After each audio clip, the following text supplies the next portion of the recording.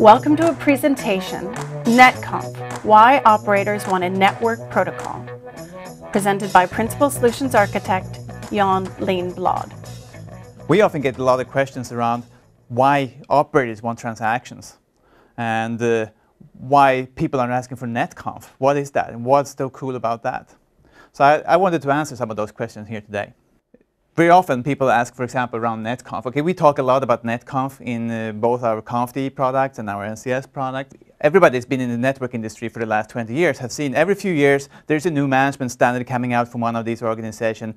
It started with CMIP, SNMP, CORBA, SOAP, and now I'm standing here talking about NetConf. So why would, I mean, everybody's saying, uh, every of these generations was saying, oh, this is going to solve all the management problems. And now I'm doing the same with NetConf. So is NetConf just yet another protocol, or what makes it different? And that is also why people want transactions. It's very much related. So if you go back in time a bit, back into 2001 and 2, IETF, who once made SNMP protocol, had a big meeting. They have quarterly meetings. One of these big meetings, they discussed, one of the topics there was, why has SNMP failed? What do you mean SNMP failed? SNMP is used a lot in the networking industry. Uh, everybody's using SNMP. Yes, people are using SNMP for fault handling and for monitoring the equipment, for retrieving performance data and things like that. But in to very little extent, they are using SNMP for retrieving or for setting configuration on the network. For service activation and provisioning and, and configuration, CLI scripting is totally dominating that market. So in that sense, SNMP had failed. So in this big meeting at uh, the IETF, the decision was to start a working group to figure out why are operators not using SNMP for configuration, like it was intended to. And what are people using instead? Is there any other protocol that can fulfill the needs of the operators? After a year of working, the working group wrote an informational RFC, RFC 3535, about their findings. And I'll summarize some of the highlights of that if you're at all interested in this topic, I recommend that you actually go read this paper. It's just like 10 pages long, very, written in a very high level. It's, it's easy reading and very good information in there. But I'll summarize some of the, the main points here. The number one requirement from operators is that it's got to be easy to use the management protocol. Well, we have SNMP, Simple Network Management Protocol. So how can it get simpler? Well, SNMP is simple to implement but it's definitely not easy to use, especially not for configuration. So that's why operators are not doing that. And that's something that operators say, you got to reverse that. We don't care if it's going to be difficult to implement, but it's got to be easy to use.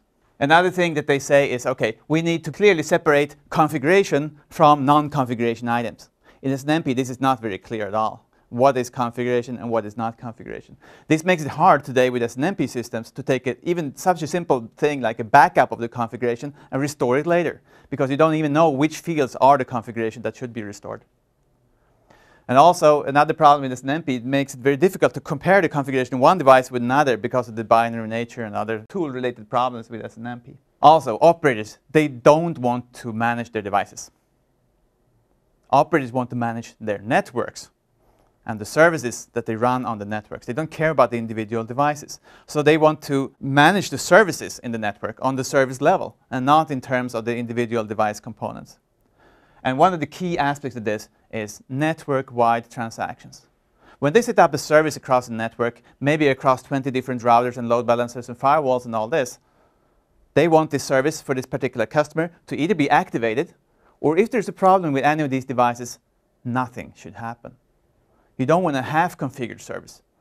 That's when you send in this, the, the, very expensive CCNA guys to clean up the mess and undo whatever the scripts did, failing at line 347 uh, on the third device in this activation.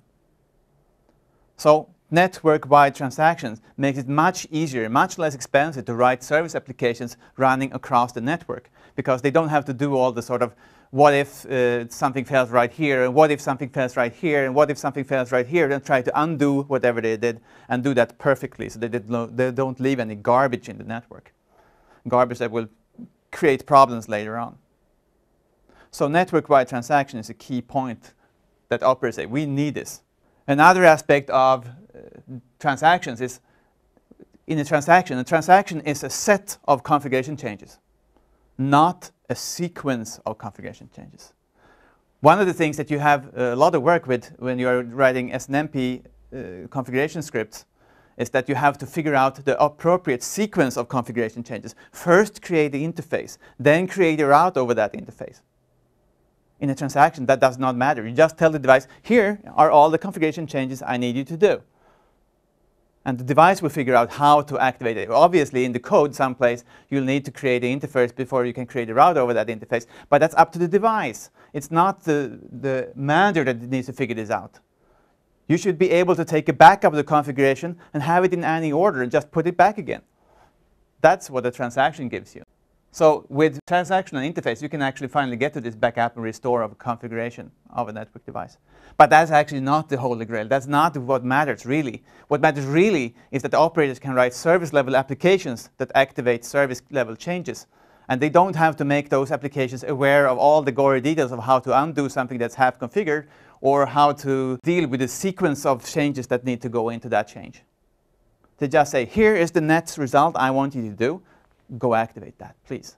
And that is what a transaction is. Obviously, uh, validation of configuration needs to be tightened up a lot uh, in, in, the eyes of an operator because what they're dealing with non-transactional devices today, when you're working with a device that's not transactional, you need to make several configuration changes at one go.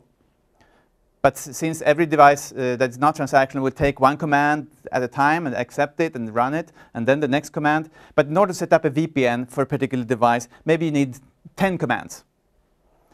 But in the process of typing in those 10 commands, one of these commands is missing.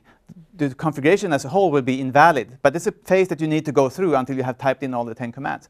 So devices that are non-transactional will typically accept and not react on configurations that are invalid. They will just say, oh, I'm waiting for that last command, and I, will just not activate this route right now because it's still inconsistent. I can't activate it.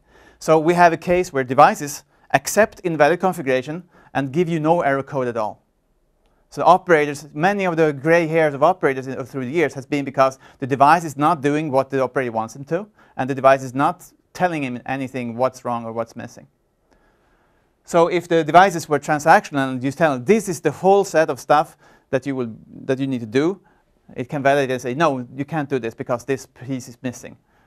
That makes it a lot easier for, for network operators. So basically, if you look at this on a high level, we have the operator economy here.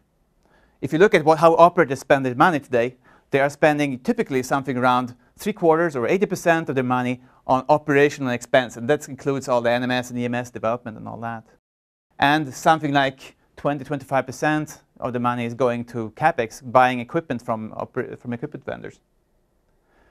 The equipment vendors have an information leakage where information about, for example, the what is config, what is not config, the particular sequencing needs that you have for managing a device.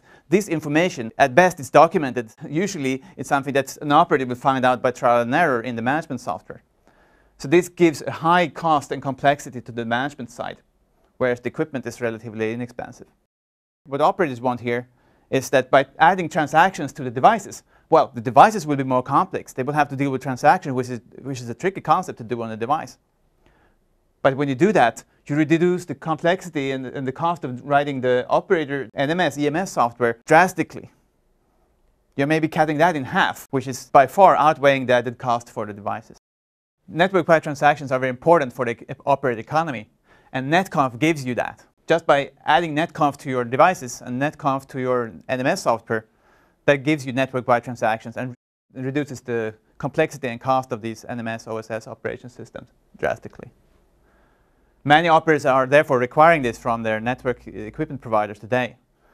So if you got this question, this is the background that explains why that is important to them. And it also explains how important it is. It's huge money, much more money that goes into this for an operator than they spend entirely on all the equipment they ever buy. And the ConfD and NCS products from Tail-f Systems, they fully implement NetConf, including all of the optional parts of it. So this is the background for why people ask for NetConf and network-wide transactions. And that's how it works.